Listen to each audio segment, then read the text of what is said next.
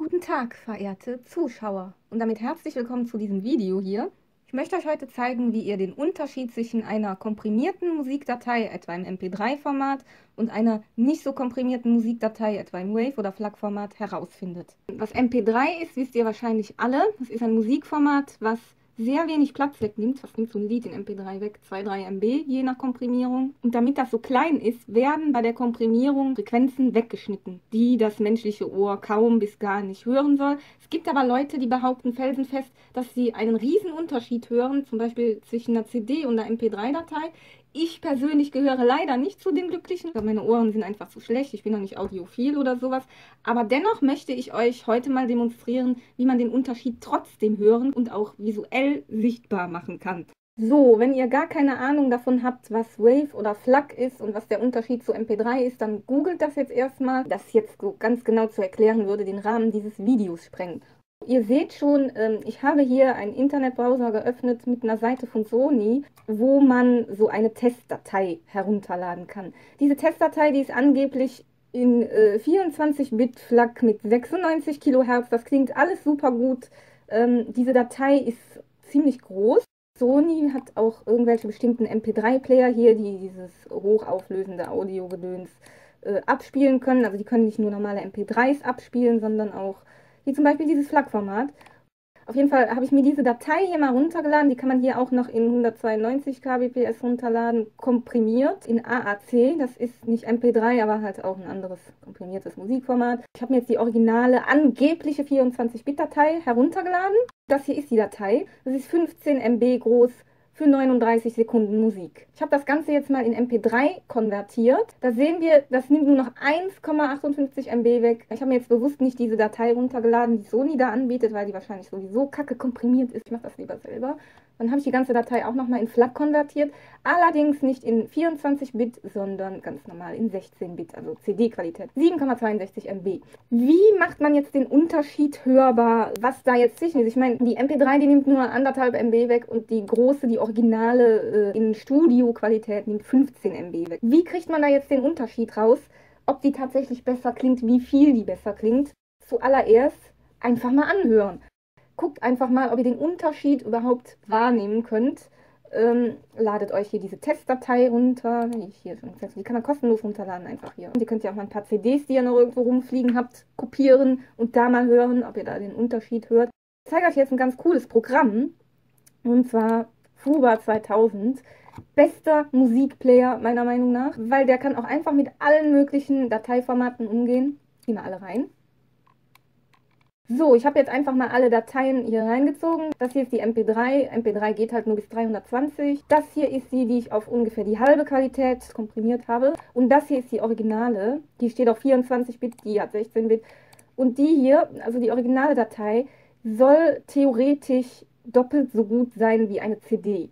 Erstmal vergewissert euch, dass ihr den Unterschied überhaupt wahrnehmen könnt, weil wenn ihr überhaupt keinen Unterschied zwischen einer MP3 und einer nicht komprimierten Datei hören könnt, warum solltet ihr euch dann unkomprimierte Musik in Studioqualität kaufen für Schweine viel Geld? Oder warum solltet ihr euch eure ganzen CDs in FLAC konvertieren, wenn ihr damit nur Speicher verschwendet und nichts davon habt?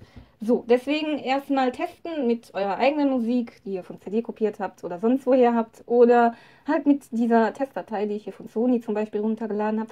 Und ähm, ich habe hier das Programm Fuba 2000, wie gesagt, empfehle ich sehr, weil das eine ganz coole Funktion hat. Und zwar ich mache das jetzt mal mit der Originalen und der äh, MP3. Ich markiere die alle beide, die ich vergleichen will und gehe dann, klicke mit der rechten Maustaste drauf und gehe auf Was Utilities und ABX. Und dann kann man hier noch irgendwas einstellen. Ich lasse das einfach so hier auf OK, dann rödelt da was. Und dann hat man hier diesen schönen Vergleichstest da kann man dann auf Play A drücken und der spielt die eine Datei ab. Bei B spielt er entsprechend die andere Datei ab. Aber es wird hier nicht verraten, welche welche ist. Darunter hat man nochmal XY. X ist halt die eine, Y ist wieder die andere. Und dann könnt ihr hier rumklicken und dann hier unter Choice einfach angeben. Zum Beispiel äh, die A hört sich genauso an wie die Y und, und die B hört sich genauso an wie die X. Dann könnt ihr hier draufklicken und weiter. Ihr könnt natürlich auch hier äh, in der Position hin und her gehen und dann mal hören. Dann habt ihr nämlich einen 1 zu 1 Vergleich, wo ihr zwischen beiden Dateien hin und her switchen könnt und hören könnt, ob ihr denn überhaupt einen Unterschied hört oder ob ihr euch denkt, hä, das hört sich alles gleich an. Da habt ihr schon mal einen ersten Anhaltspunkt. Also ladet euch das Programm hier runter, das ist kostenlos. Gibt es auch als Portable-Version, könnt ihr auf einen USB-Stick klatschen und habt es immer dabei, ohne Installation.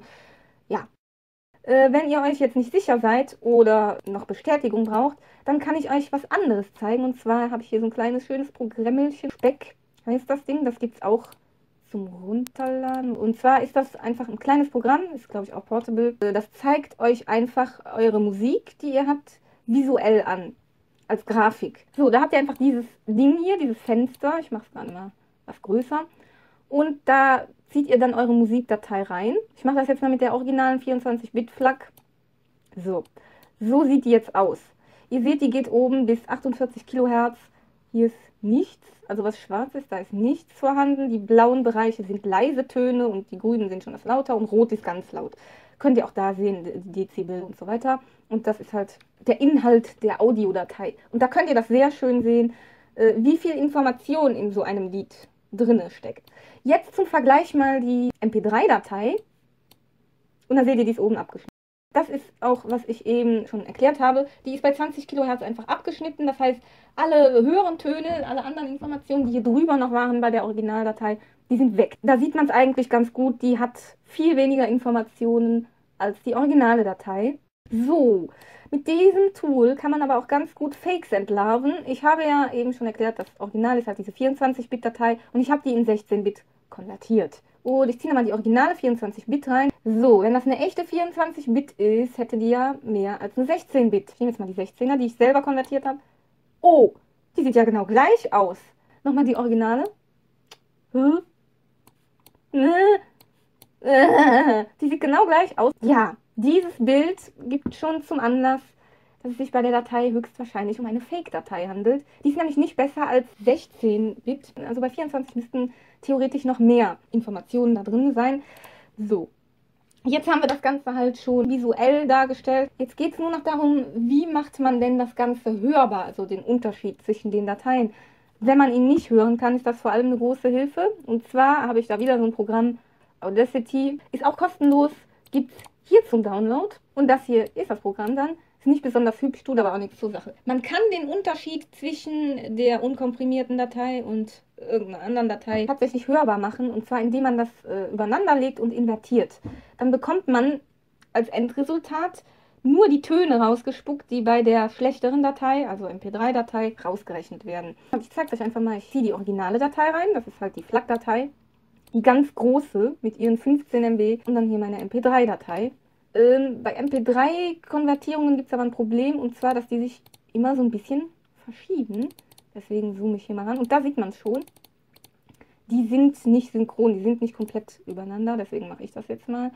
Man muss die halt übereinander legen, dass die wirklich komplett zeitgleich äh, ablaufen und übereinander liegen. Ja.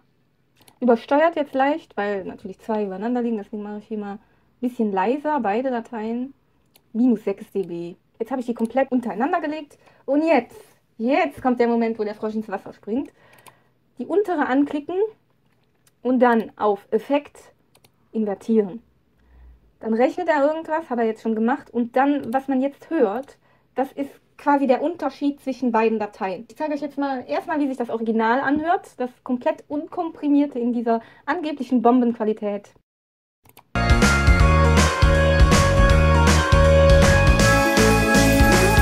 Und jetzt haben wir halt die invertierte Version, wo man nur den Unterschied hört und das hört sich so an.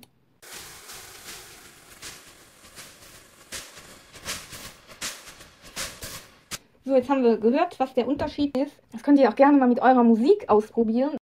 Jetzt kontrollieren wir aber doch mal, ob es sich bei der Datei wirklich um eine echte 24-Bit-Datei handelt oder ob das irgendwie doch nur ein Fake ist. Ziehen wir die Originale mal rein und dann die, die ich konvertiert habe auch in FLAC, aber nicht in so eine große FLAC. Beim FLAC-Format ist es so, die dürften eigentlich nicht asynchron sein. Nö, sind sie auch nicht. Die liegen genau untereinander. Und da mache ich jetzt genau dasselbe mit. Also nochmal minus 6 dB, weil es sonst übersteuert.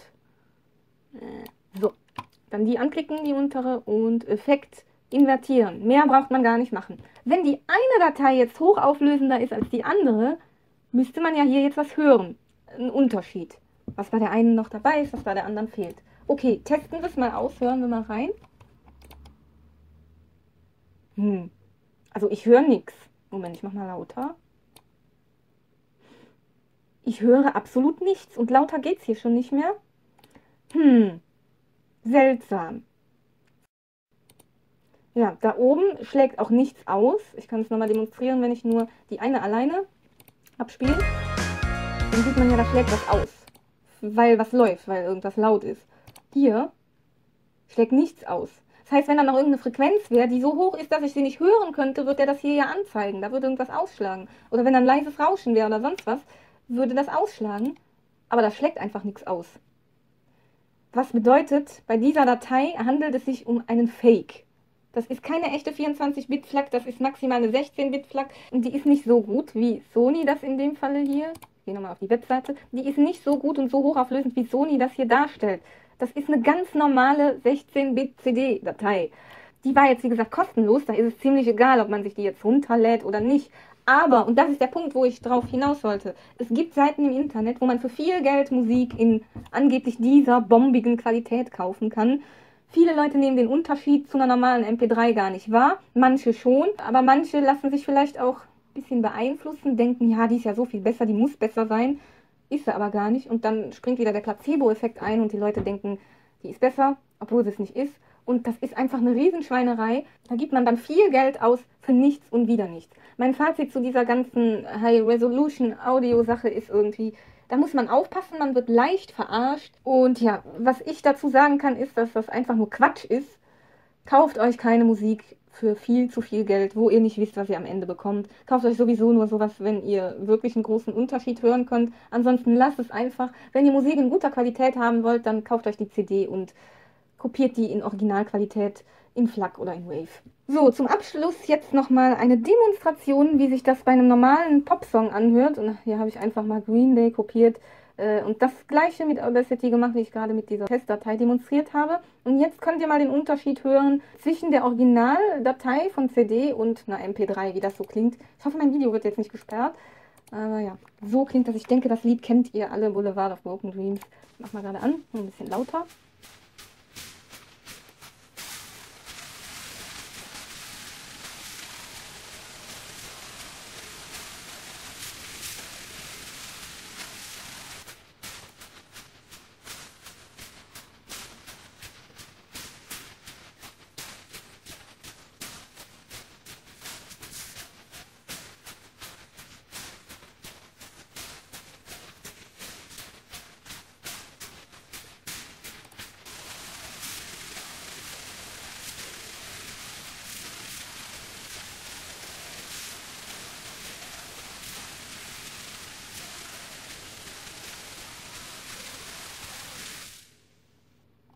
Ja, wie ihr hören konntet, ist das nur Gekruschtel und Gekraschtel und man versteht nicht viel.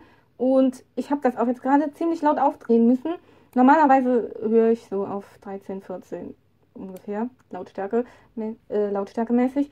Und äh, das hier muss ich gerade auf über 80 aufdrehen. Heißt, das ist nicht sehr laut, was da verloren geht bei einer MP3. Müsst ihr eigentlich für euch selber entscheiden, ob das jetzt so ein großer Unterschied ist ob es sich für euch lohnt, Musik in unkomprimierter Form zu hören und zu speichern oder ob MP3 nicht vielleicht doch einfach reicht. So, das soll es jetzt gewesen sein. Ich hoffe, ich habe es einigermaßen verständlich erklärt und zur Schau gebracht hier. Ja, wenn ihr noch Fragen habt, dann fragt mich ruhig. Äh, Versucht es mal mit eurer Musik äh, den Unterschied auszumachen. Und ich mache hier oben mal, auf dem i hier oben mal eine Abstimmung, ob ihr den Unterschied hören könnt. Hört ihr den Unterschied zwischen einer CD und einer MP3, beziehungsweise einer FLAC oder MP3? Könnt ihr mir ja mal beantworten. Ich höre es wie gesagt nicht, deswegen ist mein Fazit auch, ich habe meine meiste Musik einfach in 320er MP3s. Das, was ich besonders gern höre, speichere ich mir in FLAC ab. Aber ansonsten, äh, also ich glaube nicht, dass es hier an meinem Equipment liegt. Mein Kopfhörer ist eigentlich gut genug dafür. Und mein Fazit ist einfach, gebt kein Geld für Dateien aus, wo ihr nicht wisst, was ihr am Ende bekommt. Wo es wahrscheinlich eh nur Fakes sind, die gar nicht so gut sind, wie draufsteht. Investiert das Geld lieber für gute Kopfhörer. Und ja, wenn auf Kopfhörern steht High Resolution Audio, das ist auch wieder so eine Sache. Ich sag nur, das ist ein Marketingbegriff. Also der Kopfhörer, der weiß nicht, wie viel Bit der abspielt oder so. Der wandelt das eh um. Jeder Kopfhörer kann das abspielen. So, äh, das soll es gewesen sein. Ich habe jetzt gleich meinen Spaß beim Schneiden dieses Videos. Ich habe jetzt ohne Scheiß über eine halbe Stunde aufgenommen. Ich wollte das Video eigentlich in fünf Minuten quetschen. Mal gucken, wie ich das jetzt wieder schaffen soll. Okay, damit war es das jetzt auch. Ich sage Tschüss und bis zum nächsten Mal. Oder auch nicht, wer weiß. Tschüss.